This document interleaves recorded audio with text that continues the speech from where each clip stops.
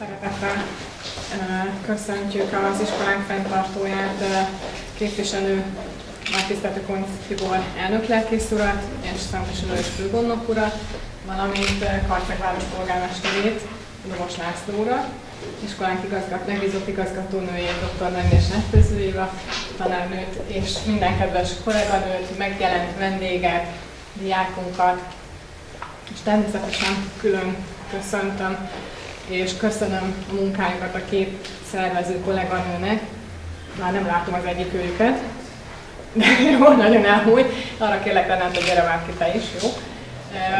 Szabó Ildikó kolléganőt, és Kentési Renáta kolléganőt, akik igazából most ezt az egész különlegesen induló és különleges műsort összerakták. Mint minden alkalommal és minden helyszínen. Most is arra kérnék, kérném a megjelenteket, hogy közösen énekeljük már el. Így 6 órakor minden helyszínen együtt az összefogást jelképezve. Először a magyar himnuszt, aztán pedig majd a szépen.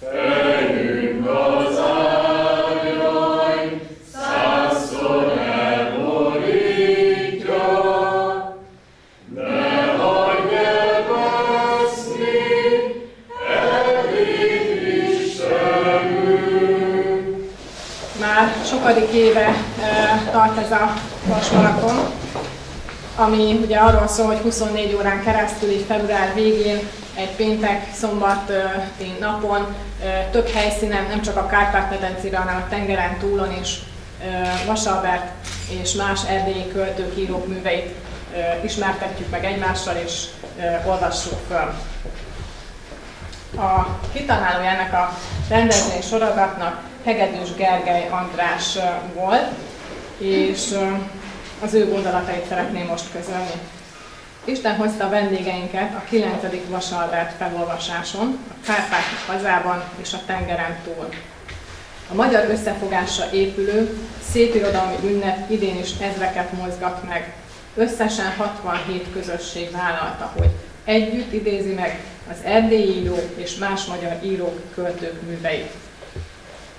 Köszöntjük a felolvasók körében a tengeren túlról csatlakozó Los Angeles, New Yorkot és Calgary, Erdélyből Koltót, Felvidékről Érsekújvát, Délvidékről Zentát, Kárpátaljáról Ungvát, továbbá belső magyarországi helyszíneket.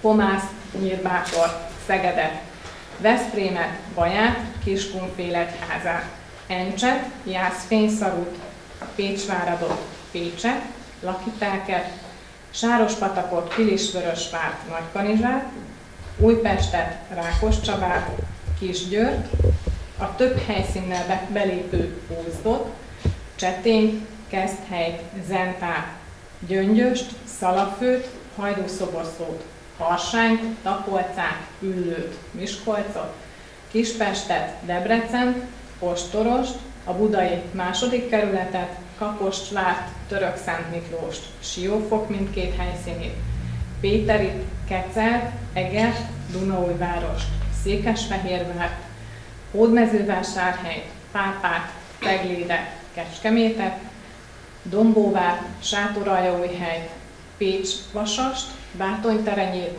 Dunaharaszti, Csornát, Ráckeresztúr, Zalaegerszeget, a budapesti 6. kerületi felolvasókört, Ballószöget, Püspökladányt, Zalaszabát, Kalocsát, Karcagot és a Pilisben felolvasó Pilis Hargita vándorokat. Én azt hiszem, hogy ez a kicsit hosszadalmas felolvasás is mutatja, hogy egyre népszerűbb ez a fajta ö, mozgalom, mondjuk azt, hogy mozgalom. Én nagyon örülök neki, hogy megint sokan eljöttek, és annak meg különösen, hogy egy kicsit felfrissítettük ezt a felolvasást, hiszen nem csak felolvasás lesz már, hanem nagyon jó ötletekkel a kolléganők felfrissítették, és akkor én arra is kérném meg őket, hogy a előtte meghirdetett pályázatok eredményeit értékeljék, illetve adjuk át a díjakat. Azt ugye tudni kell, hogy két pályázatot hirdettünk meg, egy rajzpályázatot és egy eszé pályázatot. És akkor Ildikó néni, kérlek szépen értékeld ezeket, vagy értékeljétek ezeket. Tehát az eredménye a dolognak az volt, hogy Cambridge tanárnő irodalmi és történelmi eszé pályázatot hirdettünk az iskolánkban. Az irodalmi pályázat lényege a látható a logóból című vasalváltulásban a zászló meghívón értelmezése volt, történelmi eszépályázatban pedig Vas Albert az emigráció köre címmel kellett pályázatot írni. Ugyanakkor egy rajzpályázatot is meghirdettünk, amelynek a témája két választható opció volt. Az egyik szoborterv Vas Albertről, a másik pedig egy könyvborító. Köszönöm szépen! Egy könyvborító tervezése. Először a rajzpályázatról ejtünk szót, abból érkezett ugyanis kevesebb. Mindössze négy merész vállalkozó mert az iskolából rajzot készíteni, úgy látszik ez annyira nem ragadta a humán vonal iránt érdeklődő tanulókat. Nagyon szépek a rajzok, nagyon örültünk neki, a tanáriban szétpakolt, mindenki gyönyörködött bennük, és most, hogy az eredményt kihirdetjük, a paravára is ki fogjuk tenni az eredményhirdetés után. Először nem tudom, megmutathatom-e a rajzokat, akik itt vannak, azok beleegyeznek-e, hogy megmutassam személyiségi jogaikat. Jó, tehát először Demeter Zsuzsa alkotott nekünk egy gyönyörű szép könyvborítót a 13 Almafa című vasaldát a filmhez. Ő még 9. tanuló, rendkívül tetszett nekünk ez a piros-fehér-zöld motivum, háttér, tehát a színkompozíció, és a fekete fa, tehát a, a, a fa, ugye a fekete a gyász színe elsősorban, még fekete virágokkal, fekete levelekkel szerintünk nagyon kifejező volt, de azért, azért voltak kifogásaink is. Fölkérjük ezt a tónőt, hogy adja át majd a jutalmakat. Demeter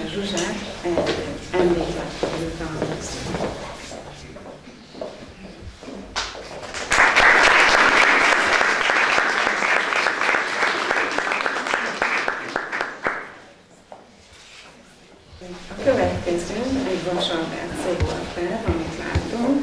Látjuk, hogy rengeteg munka és energia fekszik mind a megrajzolásában, mind a színezésében. Ő még úgy érezzük, hogy picit kevésbé ismeri de még van mit fejlődnie Vasalbert megismerése terén. Bár szép a rajz, de találtunk nála kifejező mindenképp dicséret illeti a sok energia befektetésért, és további szép rajzokat kívánok neki. Ő kis virág, szintén 9.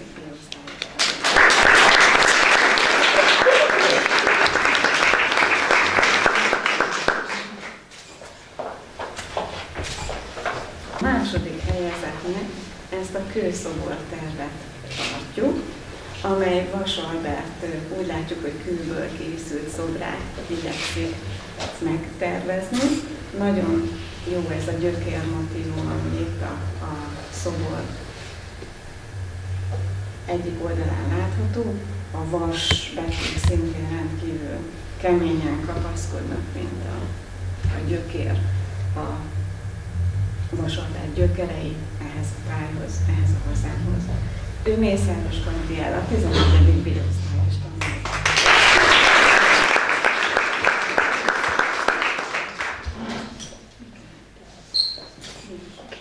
Első helyezetnek mindannyiunk egybehangzó véleménye szerint ez a gyönyörű fából készült szobor terv le, hiszen nem tudom mennyire látszik, úgy tűnik, hogy Vasalberg az erdélyi hegyekből, a fenyőkkel övezett erdélyi hegyekből nő ki, egy, egy, egybeolvad, egyéolvad az a csodálatos tája, amit annyira szeretünk. Az első helyzet tehát Mátyus Bianca, 11. biosztály.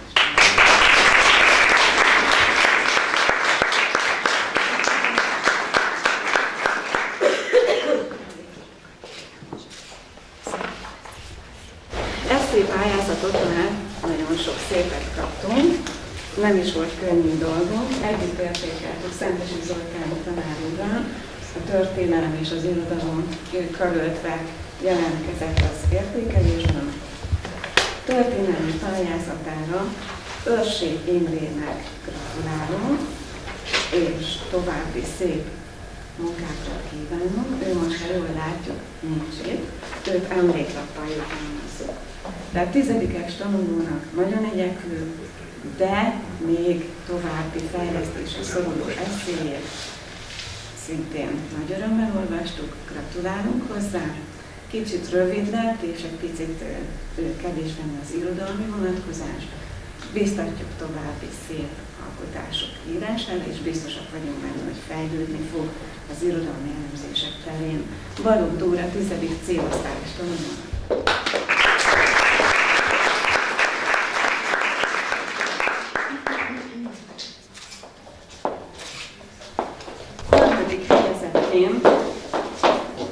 Mezőség gyermeke című eszét találtuk díjazandónak.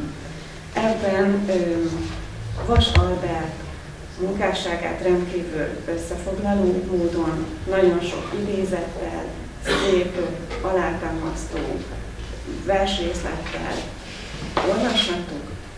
Az ő, ő díja a harmadik helyezett Házi Fruzsina 11.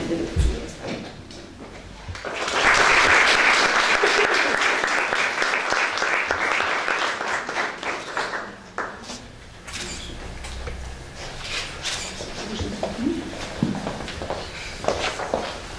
második helyezettként egy olyan eszét értékeltünk, amely tudományos megközelítésű, értő, összefoglaló, tanulságot levonó, hazaszeretetről, nemzet szeretetről tanulságot adó eszé, Éliás János, 10.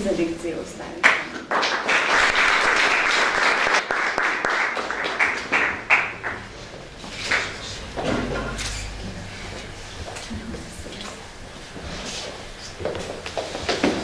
ebben az évben megosztott első helyezést adunk ki, tehát két első helyezettünk van. Nem tudtunk egyértelműen dönteni közöttük. Az egyik irodalmi, a másik történelmi eszé, rendkívül jó stílusban, hazaszeretettel tele az irodalmi eszé, nagyon sok irodalmi elem ismeretéről tanulságot tevő, a történelmi eszé pedig a Vas Albert munkásságát, az erdélyi viszonyokat nagyon jól ismerő, és hazafértő fogalmazás. Az irodalmi fogalmazás írója Urbán Andrea 11. biosztályos tanuló, a történelmi eszéjét pedig Veres Dorottya 10. C-osztályos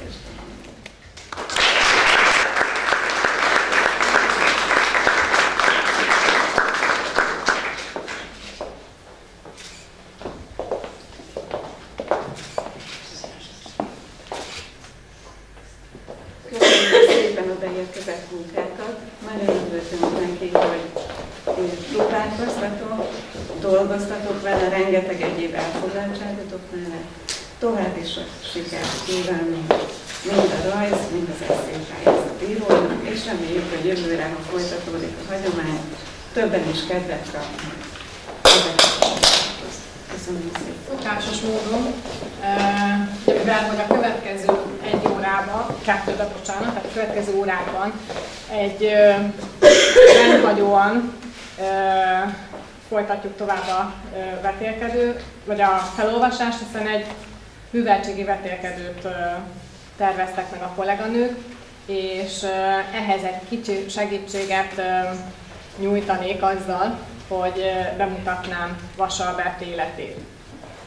Miért mindig így február vége táján vannak ezek a felolvasó esték? Ez talán a két évszámból látszik, hiszen ugye január 8-án született Vasalbert, és február végén, vagy február közepén hunyt el, tehát következő hétvége, vagy az azt követő hétvége szokott lenni a hozzá kapcsolódó felolvasás. De azt mindenki tudja róla, hogy erdélyi származású író és költő. Rengeteg értékes gondolattal uh, hagyott itt bennünket, és Erdélyt is. Többek között az egyik kedvenc idézetem tőle uh, ez, hogy minden embernek kell, hogy legyen egy feladata, egy titkos küldetése, amely Istentől való.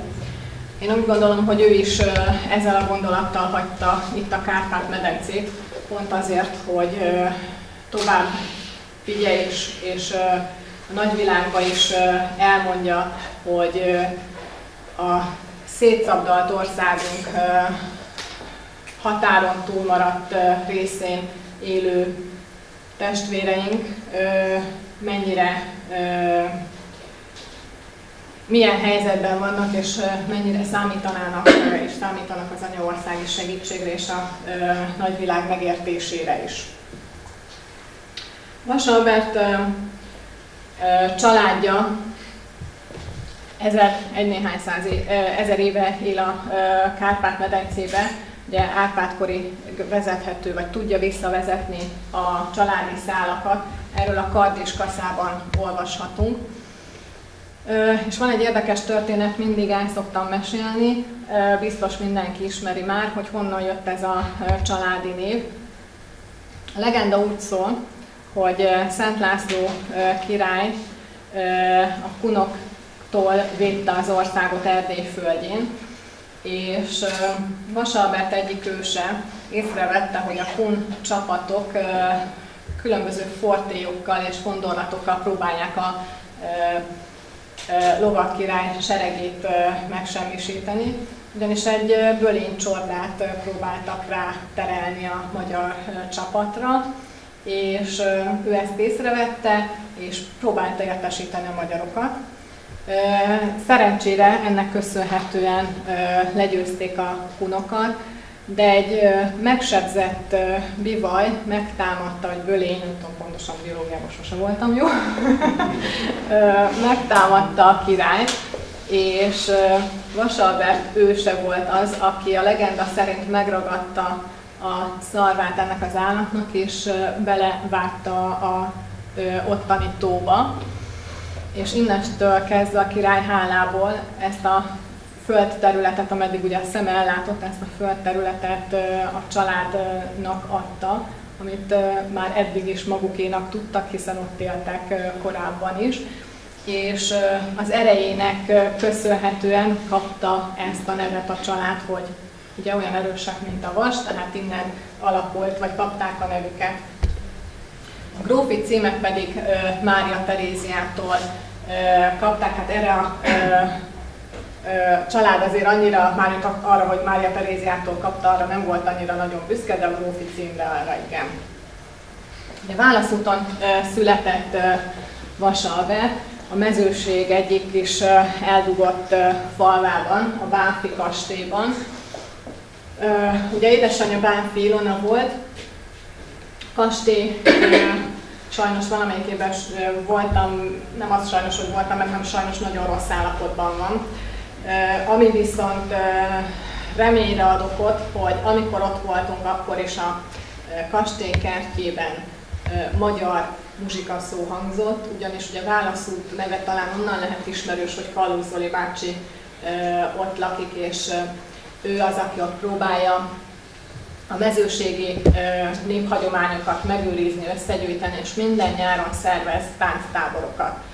És már ez annyira kiterjedt ez a tábor, hogy már az ő szolvány kollégiumában már nem férnek el a próbákon. És a úttest másik oldalán lévő Bánfi kastélyt is kihasználják, és a hatalmas szabad területen elől is, hátul is kinek hol van helye gyakorolnak a művészek, és legalább ez egy kis magyar szót, egy kis magyar zenét közvetít felénk, hiszen a kastély az ma már teljesen lepusztult állapotban van, és felújításra szorul.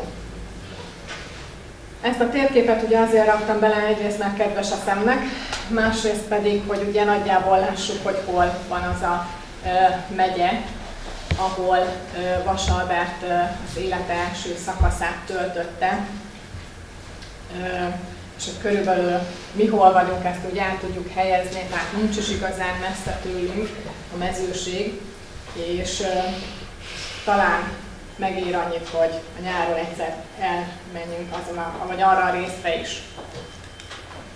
A család, az édesapa és az édesanyja, illetve a ö, lakóházuk, a lakó ö, udvarház, Vasas-Szentgotthádon, ez ma már nem áll, hiszen a második világháború után a úgynevezett felszabadító orosz hadsereg a román csapatokkal karöltve ugye lerombolta, és tönkretette mindazt a gyönyörű kertet, amit a család, illetve a nagymama külföldi fákat, növényeket vásárolt, és abból épített parkot, mindent a földdel tették egyenlővé. Sajnos a család, tehát a szülők hamar elváltak, és így a nagyszülők nevelték a fiatal grófot. A nagymama volt az, aki nagyon szeretett a kertben dolgozgatni, az, aki gyönyörű kertet ápolt, és a nagypapa volt az, akitől igazából a nemesi vonásokat tudta ellesni és megtanulni a Salbert. Hát ez egy nagyon szomorú és, és érdekes kép. Ez a néhány évvel ezelőtti válaszút. Ugye itt született Vas Albert. Látszik a táblán, én nem is próbálom kimondani a nevét, ez azt jelenti, hogy már nem nincs 20%-nyi magyar, hiszen nem írják ki magyarul a község nevét de egy pár évvel ezelőtt kaptam ezt a fényképet Vettési László kedves barátunktól. Ő az, aki Erdélyben a szorványt próbálja ápolni, és utána jár, és legalább rögzít és dokumentálja még megmaradtakat. Tőle kaptuk, ő tudja, megszámolta, nincs magyar ember válaszúton most már. Tehát sajnos itt tartunk. Ugye tudjuk, hogy egyrészt csökken a születések száma, másrészt vegyes házasságból már románok lesznek, illetve sajnos többen elhagyják a hazát. Gyerekkorát ugye Vasalbert a mezőségen töltötte, 1980 született, 12 éves volt, amikor elcsatolták Erdét Magyarországtól. A középiskolai tanulmányait már román, román iskolában ö, végezte, a, vagy román oktatási keretek között inkább ezt mondom, hiszen magyar oktatási intézményben, a Kolozsvári Református Kollégiumban végzett. De már akkor amikor ő érettségizett 1925-26-ban román vizsgabiztos érettségi elnököt, ugye mi így mondanánk, kaptak, és egy nagyon érdekes történet maradt fent ezzel kapcsolatban. Megkérdezte tőle ez a román elnök, hogy kik az idegenek az országban, Romániában. És Vas Albert felsorolt mindenkit, akit gondolt és tudott, még az arabokat is. Erre az érettségi elnök felmérgesedett, és közölte vele, hogy ebben az országban az idegenek a magyarok, és meg is mutatta. Vasalbe pedig visszaválaszolt neki, hogy ő ebben az országban nem idegen, hiszen az ősei ezer éve itt élnek, tehát ez az ország az övé. Hát ez váltotta ki a megfelelő jegyet, a bukást, és következő évben úgy kapott érettségi bizonyítványt, hogy a nagyapa egy ö, ö, disznót vitt az érettségi elnöknek, hogy átmenjen. Tehát nem a tudás volt már akkora mérce, hanem az, hogy mennyire áll közel a hatalomhoz, a román hatalomhoz. Egyébként az osztályból, a 41 néhány főből csak néhány embert engedett át ez az érettségi elnök. A későbbiekben mezőgazdasági agrárpályára állt, Debrecenbe, Pallagon tanult, aztán külföldön is több egyetemen szerzett diplomát. Amikor ugye Trianonba elcsatolták a, az, az erdélyi országrészt, akkor több földterületet is elvettek tőlük, és így a gazdaságuk egy picit megroppant, tehát a diplomái megszerzése után neki szüksége volt, vagy szükséges volt a családnak, hogy ő beálljon és próbálja a gazdaságot egy picit fellendíteni. Tehát a családi gazdálkodás vitte tovább. Emellett már középiskolás korában is írt, és a későbbiek során is írogatott, illetve vadászni nagyon szeretett, hiszen szántóföldeket jobban, több, többet, nagyobb arányba vettek el, az erdőket jobban meghagyták neki, tehát a vadászat, mint hobbi, az egy biztos pontot jelentett számára. Az első regényért, a Farkas velemért pedig díjat is kapott, ugye megkapta Baumgarten díjat, és az Erdély Szépműves cégnél, cégnél jelentek meg a művei. Ahogy említettem, a család anyagilag nehéz helyzetbe került, és kénytelenek voltak segítséget kérni német rokonoktól, és így ugye egy ilyen érdekházasságot kötött Vas Albert, ami, ami később viszonylag hosszú távon fönt is maradt, és a gazdasági válságból is kisegítette a családot. Hat gyermekük született, sajnos Csaba kisgyermekkorában meghalt, tehát ő már nincs köztünk.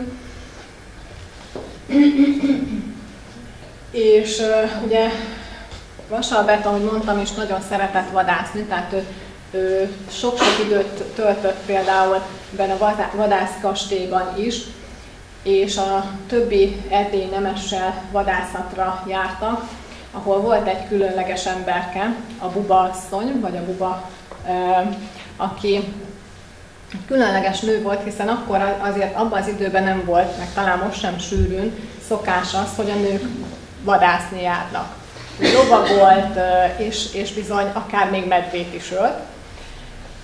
Lehet, hogy ez, vagy bármi más felkeltette Vasalbert érdeklődését ez iránt a hölgy iránt, annak ellenére, hogy körülbelül 10 évkor különbség volt köztük a hölgy javára. Tehát ő volt idősebb, és ez egy hosszú távú kapcsolatnak lett az, vagy ebből egy hosszú távú kapcsolat lett, még a tengeren túlon is tartották a kapcsolatot, leveleztek egymással. És ami még érdekesség ebben a kapcsolatban, hogy a, az éltető Marian unoka, unokája, lányunokája, és a Vasalbert legkisebb fia az Endre, szintén egymásra találtak, és ők össze is házasodtak. Úgyhogy ha Vasalbertnek nem sikerült a fiának, viszont sikerült ezt a szerelmi kapcsolatot beteljesíteni. Azt ugye talán mindenki hallotta, hogy Marosvécsen Kemény János báró az 1920-as évektől kezdve összehívta az erdélyi magyar írókat, költőket, és úgynevezett erdélyi helikonként ott egy íróközösségi találkozót szervezett, ahova többször meghívták Vasalbertet is. Ez is egy érdekes kép, ugye az egyiken maga a helikon asztal látszik, és a tavalyi vendégünk Barta Tiszteletes úr, aki a mellette lévő faluban református lelkész és gondozza a Vasalbert örökséget és hagyatékot. Tehát a másik kép pedig a kastély, maga a kastély, ami az elmúlt évig elmegyógyi intézet volt, Tavaly kapta vissza a kemény család, és most már ők próbálják meg használni is, tehát kiadják, meglátogatható a kastély, rendezvényeket szerveznek, tehát remélhetőleg fel is lendítik és lesz élet újra Marosvécsen. Mondtam, hogy a nagypapa nevelte Vasalbertet, aki egyébként református főgondnok is volt, és amikor ő meghalt, akkor Vasalbert vett át ezt a tisztséget. Tehát nem csak az irodalom, nem csak a gazdálkodás területén próbálta meg a gyökereket őrizni és ápolni, hanem az egyházon belül is. Egyik legszebb regénye talán a Csaba. Ugye az előbb énekeltük a Székely himnuszban a Csaba királyfiról, és én javaslom mindenkinek, hogy ezt a művet azért olvassa el, mert nekem meghatározó volt, és a, talán azért, mert először olvastam Vasalbertől, de, de szerintem mindenkinek hasonló élményei lesznek ezzel a kapcsolatban. Ez az idézet pedig szintén nagyon, nagyon kedves számomra, ebből a műből való, úgyhogy tényleg javaslom mindenkinek olvasásra. Második világháborúban Kolozsvár mellett egy városban dolgozgatott. Egyrészt a szakmájában, másrészt pedig a Kolozsvári Ellenzék című lapnak volt a szerkesztője, főszerkesztője. És amikor a náci hatalomátvétel történt, akkor megpróbálták őt is a saját hasznukra fordítani. Ő viszont egyszerűen egy szót sem szólva kiment az irodából és fölment a hegyekbe. Hát ugye ez, ezek igúzta dufát úgymond, és elkezdték keresni. Úgyhogy úgy menekült meg ebből a helyzetből, hogy bevonult a hadseregbe. Több, a magyar hadseregben ugye több kitüntetést is szerzett, és amikor már látta, hogy RB teljesen elveszett, akkor ő nem ment vissza, hanem az utolsó magyar katonavonattal kimenekült külföldre, először Németországba. Míg nem volt otthon, addig elítélték a román hatóságok, megvádolták, hogy zsidókat, illetve román pópákat ölt meg ő és az édesapja. Úgyhogy tudták kívül perbe fogták és megbélyegezték. Holott abban az időpontban, amikor ez a tragédia történt, otthon sem volt. A másik ö, nagy sikerű regénye az Adjátok vissza hegyeimet című ö, regénye, amelyet már ugye migrációban írt Németországban. Most nem hegyeket ö, raktam be, hanem a mezőséget. Ez fekete lak, talán aki néptáncot ismeri, hallhatta a fekete laki táncokról. Egy icike-picike kis magyar falu, nagyon kevés, egyre kevesebb magyarral, de még a református templom az áll, és még a gyülekezet tartja magát. A következő képen szintén egy mezőségi táj, tipikus mezőségi táj látszik, rengeteg tó van a mezőségen, ez például az egyik. És aztán pedig egy picit távolabb a mezőségtől a Maros partja fog látszódni, és a háttérbe pedig az Isten széke. Az a hegy, amiről majd a következő kép egy picit ráközelítve nagyobb, tehát többet mutat. A Funtinelli boszorkány talán ismerős, de az Isten széke innen lehet ismerős mindenkinek. Németországból négy fiával az Amerikai Egyesült Államokba utazik, hogy próbáljon ott tenni valamit az erdélyi magyarokért. A legkisebbik fia és a felesége Németországban marad, ugye a felesége német gyökerekkel rendelkezik, vagy a család német származású, és a legkisebb gyermekkel a felesége kint marad Németországba. Később ez válláshoz is vezetett. Ott új életet kezdett Amerikában, egy farmon dolgozott, ugye, hiszen német, vagy Magyarországon a saját hazájában, a saját farmjá, birtokán is gazdálkodással töltötte az idejét. Feleségül ment, vagy feleségül vette Elizabeth McLean, és Asztorban töltötték az életüket. Ott is írt, rengeteg regénye született kint, és próbált magyar könyveket kiadni, magyarul könyveket kiadni, hiszen rengeteg magyar él ugye Amerikában is próbált őket megszólítani. Nagy kudarca volt, hogy nem igazán sikerült támogatottságot szerezni.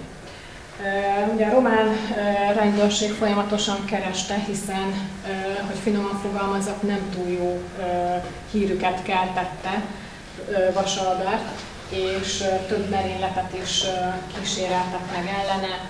Volt, hogy gépkocsival próbálták meg elgáz, el, elütni, volt, hogy bomba merényletet kíséreltek meg ellene, illetve megpróbálták lelőni is. Élete utolsó néhány évében újra nősült, és néhány képet hoztam még az amerikai életéről, családjáról, a kinti család a nagyobbik kép, és az öt fia pedig ugye már a Németországban maradt legkisebbik fiával együtt kibővül a teljes család. A rendszerváltás után Vasalbert megpróbált magyar állampolgárságot kérni. Sajnos nem jókor fordult ezzel a kéréssel Magyarországhoz, hiszen akkor baloldali liberális kormányunk volt, és ők nem adták meg neki ezt a lehetőséget, hogy papíron is újra magyar lehessen, hiszen is magyar volt. Egy évre kapta meg ezt a ezt az állampolgárságot kapta vissza, és ezt annyira sérelmezte, hogy, hogy, hogy nagyon meg is viselte, és talán ez is közrejátszott az utolsó éveiben a betegségének a kialakulásához. 1998. február 17-én halt meg. A hangvainak egy része visszakerült Erdélybe. Egyrészt a Marosvécsi Kemény Kastélyban található egy emlékkő. Azért raktam két képet róla, mert az eredetin a, a plakett az nagyon sűrűn eltűnt. Mert ugye bronzból volt, és a román hatóság azt mondta, hogy nem, nem ők vitték el, hanem a fénytolvajok. Ezért kicserélték egy márványtáblára, de sajnos ez is néha eltűnik, tehát nem nagyon hagyják nyugodni a sarvárták.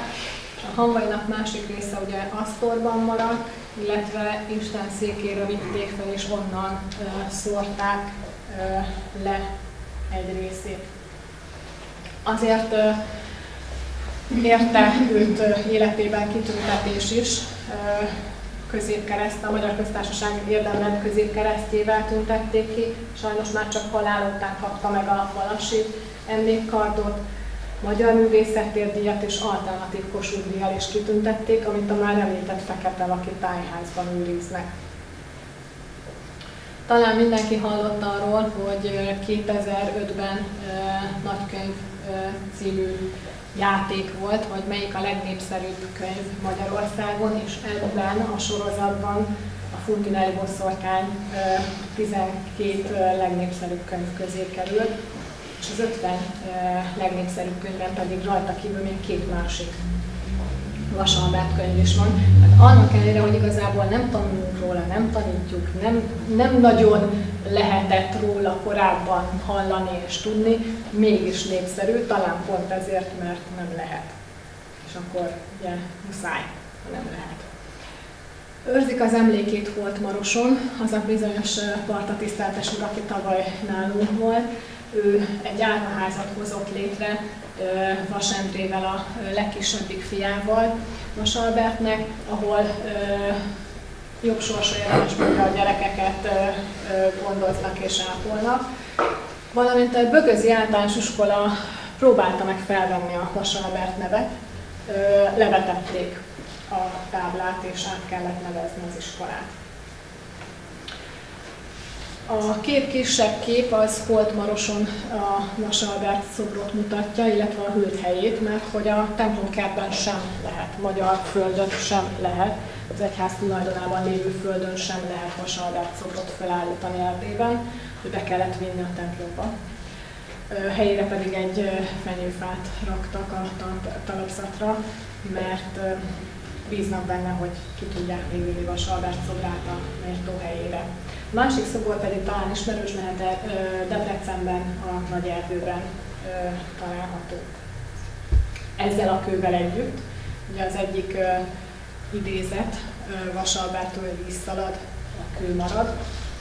Másik pedig Vasalbártnak van egy kedvenc hely, nem csak egy több, egy forrása, és oda próbálták meg ezt a ö, követ kivinni, és elnevezni azt a forrást Vasalbertből, de inkább úgy döntöttek, hogy szintén a Bortmarosi templomban őrzik meg addig ezt a táblát, amíg biztonságban ki tudják helyezni.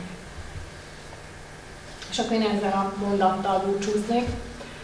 Legyen Isten szeretete mindannyiunkkal, kik szeretetet hordozunk a szívünkben nemzetünk iránt.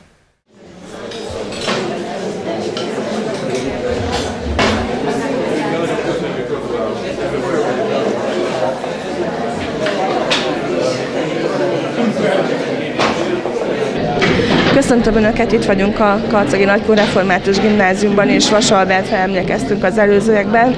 Nagy Évával az egyik szervezővel beszélgetünk. Egy picit rendhagyó a mostani Vas maraton. Beszéljünk erről, hogy hogyan is kapcsolódott először a gimnázium ehhez a Vas maratonhoz. Öt éve kezdtük ezt a e, irodalmi ünnepet gyakorlatilag ez azt jelenti, hogy 5 évvel ezelőtt egy 24 órás felolvasást szerveztünk meg. Nem tudtuk, hogy mire vállalkozunk, de nagyon bejött mindenkinek, a gyerekeknek is tetszett, és mi is úgy éreztük, hogy ezt folytatni kell.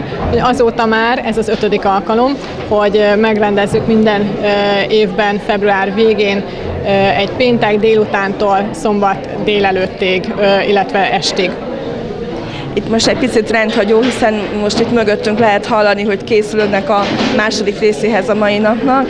Első részben volt egy köszöntő, egy diátadás és egy nagyon megható előadást és egy szívhez szóló előadást tartott ön Vas Albert munkásságáról és az életéről. Mi volt ez a pályázat, aminek az eredményhirdetése ma volt? Két kolléganőm segített a mai rendezvény megszervezésében, Kentési Renáta és Szabó Ildikó kolléganők. Renáta kolléganő javaslatára egy kicsit újítottunk az eddigiekhez képest. Pályázatot hirdettünk meg egy hónappal ezelőtt itt az iskolában, rajzpályázatot, Vasalbertről szobortervet kellett készíteni, illetve eszépályázatot, történelmi és irodalmi eszépályázatot is szintén Vasalbertről, és annak az eredmény hirdetése volt most, ezzel kezdtünk, és most pedig, ahogy hallatszik is, egy műveltségi vetélkedőt szervezünk, és megdöbbentünk, hogy 11, 12 csapat csapat jelentkezett erre a vetélkedőre, tehát népszerű úgy látszik Vasalbert, illetve Erdély a gyerekek körében. Ez az előbb hallhattunk egy kis segítséget, hiszen ön nagyon sok olyan apró információt csepegtetett a diákoknak, amit gondolom, hogy majd hasznosítani tudnak itt a tesztek és a különböző feladatok során. De milyen jellegű lesz ez a feladat? Tehát egy kicsit játékosabb, egy kicsit műveltségi. Milyen feladatokat kapnak hamarosan a diákok? Interaktív jellegűt próbálunk összehozni. Változatosak lesznek a feladatok, villámkérdések, totó, teszt, keresztrejtvény, és interjút is kell készíteni, képzeletbeli interjút interjút kell készíteni Vasalbertel, különböző feltételeknek megfelelően. Akkor azt gondolom, hogy izgalmas két óra vár a diákokra, és a vetélkedő után pedig a hagyományos felolvasással fog folytatódni. Így van, utána kezdjük a hagyományos felolvasást, ami szintén Vasalbert és erdélyi költők, írók műveiről fog szólni.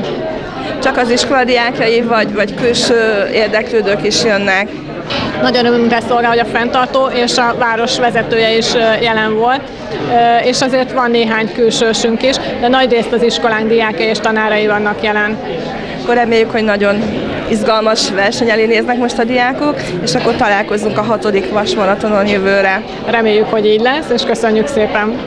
Mi is köszönjük! Kedves fiatalok, kedves vendégeink! Szeretettel köszöntünk mindenkit rendhagyó Vas Albert negyed maratonunk második programpontjában, amikor is a gimnazista diákok intelligenciájukról, kreativitásukról, kreativitásukról csapatversenyben tesznek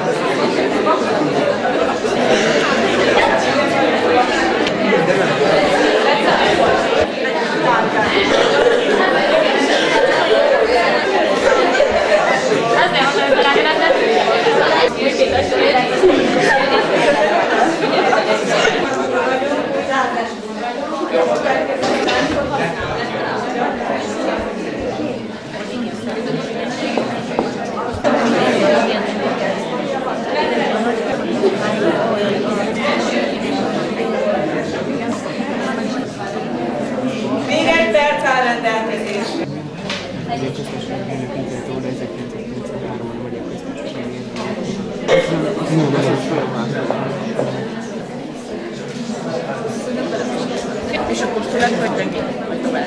Szület vagy tovább?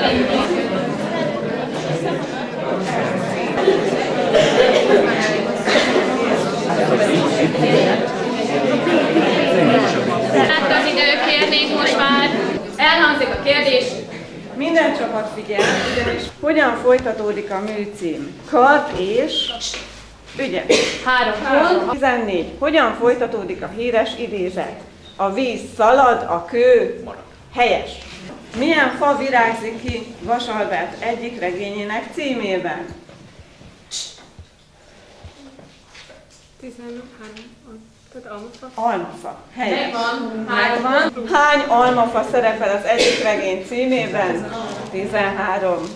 Melyik jeles naphoz kapcsolódik az ólomöntés népi szokása? Nem jó válasz, nulla pont. Mondd más szóval, tengerszem. Földrajzi. Öt. Van ötlet? Nincs. Nulla pont. Nyolc. Jokert húztatok automatikusan három. Három. Melyik? Masli. Masli. Reményik Sándor, akarom. Akarom, fontos ne legyek magamnak. A végtelen falban legyek egy tégla. Lépcső, mint felhalad valaki más. Ekevas, mely mélyen a földbe ás. Ám a kalász nem az ő érdeme. Legyek a szél, mely hordja a magot, de szélmát ki nem bontja a virágnak. S az emberek, mikor a mezőn járnak, a virágban hadd gyönyörködjenek. Legyek a kendő, mely könnyen töröl, legyek a csend, mely mindig enyhe tud. A kéz legyek, mely váltig simogat. Legyek, s ne tudjam soha, hogy vagyok.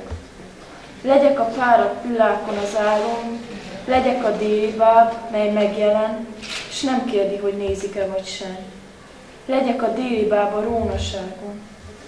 Legyek a vén föld fekete szívéből, egy mély sóhajtás fel a magas égig. Legyek a drót, min üzenet megy végig, s cseréljenek ki, ha elszakadtam.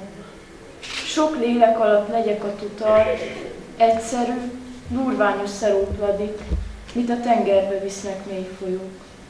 Legyek a hegedű, mely végtelen sír, míg le nem teszi a művész a vonót. Vasalvert, úttalan utakon. Úttalan utakon, bozótokon és szakadékokon, árkokon és vízmosásokon törtetünk láthatatlan cél felé. Úttalan utakon, imádkozva vagy szitkozódva, békés szívvel vagy lázadozva, de menni kell, mert vissza nem lehet. Fekete falat épített a múlt a hátunk megett. Úttalan utakon. De túl lélekhatáron, túl gondolaton, túl minden álmon. Valami messze vár ránk. Egy fénysugár egy útvilágon. Talán egy minden, meg, minden felejtés. Talán egy mindent újrakezdés.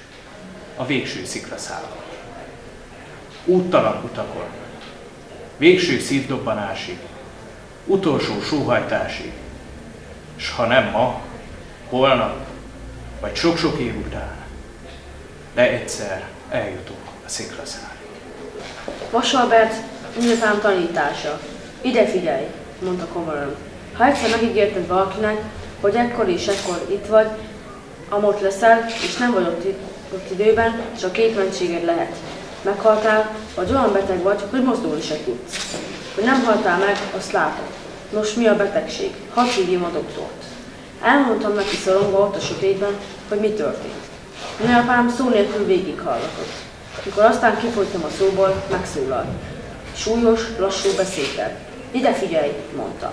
Vannak emberek ezen a földön, akik úgy dobálják ide-oda a szalkat, meg az ígéreteket, hogy azoknak semmi érték nincsen többé. Mi vassok nem ezek közé tartozunk. Ha mi mondunk valamit, az áll, mint a sziklakő. Ha mi a szavunkat adjuk, azt tartjuk is, ha belepusztulunk is. Érted?